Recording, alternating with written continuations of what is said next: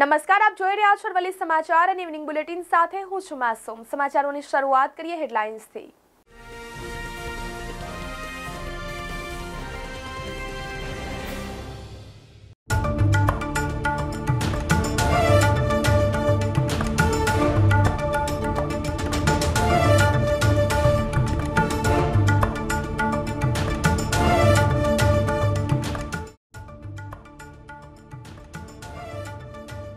ટિન્ટોઈ ગામે દર વર્ષની જેમ આ વર્ષે પણ પગપાળા પાવાગઢ જવા સંઘ રવાના થયો. યુવાનો માતાજીના રથ સાથે પગપાળા પાવાગઢ મહાકાળી માતાજીના દર્શનાર્થે જાય છે.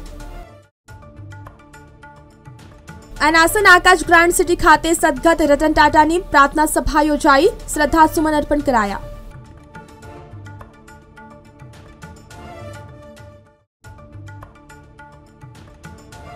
બસ સ્ટેન્ડ પાસે આવેલા અયોધ્યાપુરી ગ્રાઉન્ડ ખાતે ચાલી રહેલ ભાગવત સપ્તાહનું સમાપન થયું. ભાગવત સપ્તાહમાં ભાગ લઈ સહભાગી બનતા સૌ વૈષ્ણવોનો આભાર વ્યક્ત કર્યો.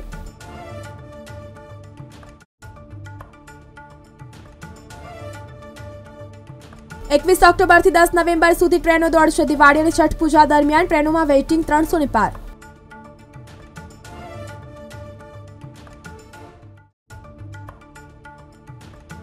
હીરામંદી પચાસ વર્ષમાં પહેલીવાર બે વર્ષમાં ભાવ ચાલીસ ટકા સુધી ઘટી ગયા.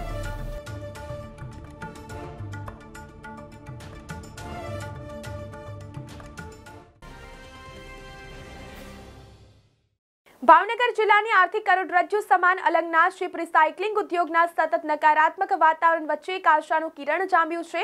તેમજ ભારતમાં અલંગ શિપ રિસાયકલિંગ ઉદ્યોગ વર્ષ બે હજાર અઠ્યાવીસ સુધીમાં દસ ટકાના ચક્રવૃદ્ધિ તેમજ વાર્ષિક વૃદ્ધિ દર પર વિકાસ પામે તેવી અપેક્ષા છે, તેમ એક નવા અહેવાલમાં જણાવાયું છે. ચોમાસાની સત્તાવાર વિદાય બાદ પણ અલગ અલગ કારણોસર મેઘરાજા હજુ સુધી વિદાય લેવાનું નામ નથી લેતા. અરબી સમુદ્રમાં લો પ્રેશર સર્જાતા રાજકોટ શહેર અને જિલ્લાના લોધિકા તથા કોટડા સાંઘાણી પંથકમાં માવઠું થયું હતું. ભારતીય રેલવે આ વર્ષે એક ઓક્ટોબરથી ત્રીસ નવેમ્બર દરમિયાન દિવાળી અને છઠ પૂજા દરમિયાન મુસાફરોની સરળ મુસાફરોની સુવિધા માટે છ વિશેષ ટ્રેન ચલાવી રહી છે. દર વર્ષે તહેવારો દરમિયાન આ વિશેષ ટ્રેનો દોડાવવાનું આયોજન કરવામાં આવે છે. ગુજરાત બોર્ડે ધોરણ દસ સાથે ધોરણ બાર સામાન્ય અને વિજ્ઞાન પ્રવાહની મુખ્ય પરીક્ષાના વિદ્યાર્થીઓના ઓનલાઈન ફોર્મ ભરવાનું દિવાળી વેકેશન બાદ શરૂ થનાર છે. ફોર્મ ભરાય એ પહેલા સ્કૂલ અને ટીચરનું રજીસ્ટ્રેશન ફરજિયાત કરાયું છે. સુરતનો હીરા ઉદ્યોગ પચાસ વર્ષની સૌથી મોટી મંદીનો સામનો કરી રહ્યો છે. હીરાના ભાવમાં બે વર્ષમાં પાંત્રીસથી ચાલીસ ટકાનો ઘટાડો આવ્યો છે. જેમાં તૈયાર હીરાના ભાવમાં ત્રણ વર્ષમાં પાંત્રીસ ટકા સુધી ઘટાડો થયો છે. એટલે કે એક સમયે એક લાખની કિંમતની હીરાનો ભાવ હાલમાં રૂપિયા પાસઠથી સિત્તેર હજાર પહોંચી ગયો છે. દિવાળી અને છઠ પૂજા દરમિયાન અમદાવાદથી દિલ્હી સહિત ઉત્તર ભારત તરફ જતી મોટાભાગની ટ્રેનોમાં વેઇટિંગ લિસ્ટ ત્રણસો ને પાર પહોંચી ગયું છે. તેની સાથે હજુ પણ લોકો ટિકિટ બુક કરાવી રહ્યા છે.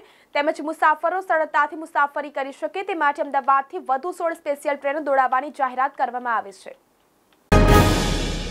નવરાત્રી પૂરી થતાની સાથે જ ફરી વરસાદી માહોલ જામ્યો છે અને સોરઠ પંથકમાં ગામોમાં બપોર બાદ વાતાવરણમાં અચાનક પલટો આવ્યો હતો અને તીવ્ર ગાજવીજ સાથે માવઠું થયું હતું. અને માળિયાની વાત કરીએ તો ચાર વાગે વરસાદ શરૂ થયો હતો. સાબરકાંઠા જિલ્લાના હિંમતનગર કોટન માર્કેટ યાર્ડ વિજયાદશમીના શુભ મુહૂર્તમાં કપાસની ખરીદીની શરૂઆત કરાઈ. પ્રથમ દિવસે જો પંદરસો રૂપિયા પ્રતિ મણે ભાવ મળતા ખેડૂતોમાં ખુશી જોવા મળી હતી. સાબરકાંઠા જિલ્લામાં કપાસ, મગફળીનું વાવેતર વધુ છે. કપાસનું એકાવન હેક્ટરમાં વિસ્તારમાં કપાસનું વાવેતર થયું છે.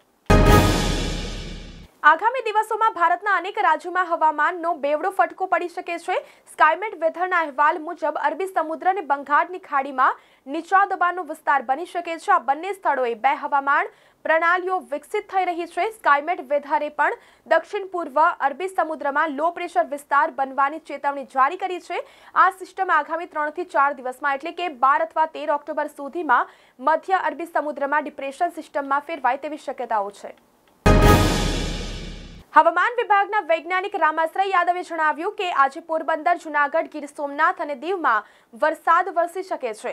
રાજ્યના મોટાભાગના જિલ્લાઓમાંથી ચોમાસાએ વિદાય લીધી છે, પરંતુ નવસારી, વલસાડ, દમણ અને દાદરાનગર હવેલીમાં હજી સુધી ચોમાસાએ વિદાય લીધી નથી. દક્ષિણ પશ્ચિમ બંગાળની ખાડીમાં વધુ એક સાયક્લોનિક સર્ક્યુલેશન વિકસી રહ્યું છે. અરબી સમુદ્રમાં પણ લો પ્રેશર સર્જાઈ રહ્યું છે. છેલ્લા ત્રણેક દિવસથી પલટાયેલા વાતાવરણ વચ્ચે છેલ્લા ચોવીસ કલાકમાં ઉત્તર ગુજરાતના છૂટાછવાયા વિસ્તારોમાં ઝરમરીયો વરસાદ પડવાની સાથે ચાર તાલુકામાં હળવા ઝાપટા વરસ્યા હતા, જેમાં સૌથી વધુ પોશીનામાં ચાર મીમી વરસાદ નોંધાયો હતો. આ ઉપરાંત ખેડબ્રહ્મામાં બે મીમી તેમજ હિંમતનગર, પાલનપુરમાં એક મીમી વરસાદ વરસ્યો હતો. ભાવનગર રેલવે ડિવિઝન દ્વારા આગામી ત્રીસમી નવેમ્બર સુધી તહેવારો દરમિયાન ત્રણ જોડી સ્પેશિયલ ટ્રેનોની ઘોષણા કરવામાં આવી છે. ભાવનગર બાંદ્રા સાપ્તાહિક ભાવનગર દિલ્હી કેન્ટને સમયાંતરે કટકી કટકી ઘોષિત કરવામાં આવે છે. દર બે ત્રણ માસે આ બંને ટ્રેનોને હંગામી ધોરણે સંચાલન આગળ ધપાવવામાં આવે છે. તો આ સાથે સમાચારોમાં અત્યારે બસ આટલું જ. નમસ્કાર.